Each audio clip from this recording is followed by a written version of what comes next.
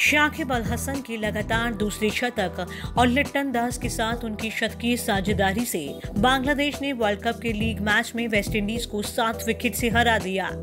इस जीत के साथ बांग्लादेश ने सेमीफाइनल में पहुँचने की उम्मीदें ज़िंदा रखी है। कैसे बांग्लादेश ने मारी बाजी?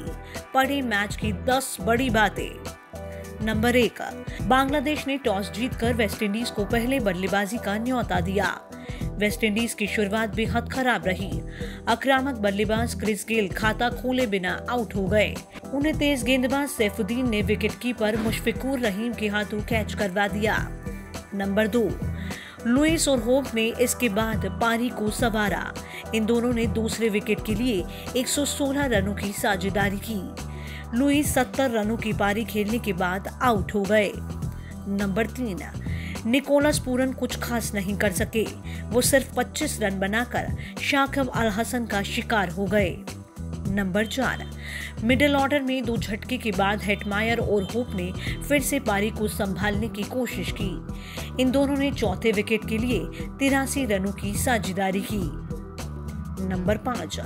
हाफ़ सेंचुरी बनाने के बाद हेटमेयर आउट हो गए, जबकि होप सिर्फ़ चार रनों से सेंचुरी बनाने से चूक गए।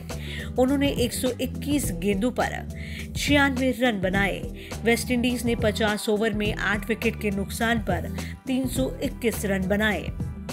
नंबर छह जवाब में बांग्लादेश को ओपनर तमीम इकबाल और सौम्य सरकार ने अच्छी शुरुआत दी। इन दोनों ने पहले विकेट लिए। बावन रनों की साझेदारी की। नौवे ओवर में सरकार आउट हो गए। नंबर सात। इसके बाद शाकिब अल हसन और तमीम इकबाल ने दूसरे विकेट के लिए उनहत्तर रनों की साझेदारी की। तमीम इकबाल दो रनों से अपना अर्धशतक बनाने से चूक गए। दो ओवर के बाद ही बांग्लादेश को एक और झटका लग गया। 133 के स्कोर पर बांग्लादेश के तीन विकेट गिर गए। नंबर आठ। शाकिब अल हसन और लटन दास ने इसके बाद रनों की झड़ी लगा दी। इन दोनों ने चौथे विकेट के लिए एक रनों की नाबाज साझेदारी की। नंबर नौ, बांग्लादेश को अंतिम पंद्रह ओवर में जीत के लिए उनहत्तर रनों की दरकार थी। लिट्टन ने अड़तीसवे ओवर में ग्रेबियल पर लगातार तीन छक्कों से 24 रन जोड़े। जिसके बाद टीम को लक्ष्य हासिल करने में ज़्यादा परेशानी नहीं हुई। नंबर दस शाकिब ने 124 रनों की पारी खेली, जबकि दास ने चौरानवे रन बनाकर बयालीसवे ओवर में ही बांग्लादेश को धमाकेदार जीत दी।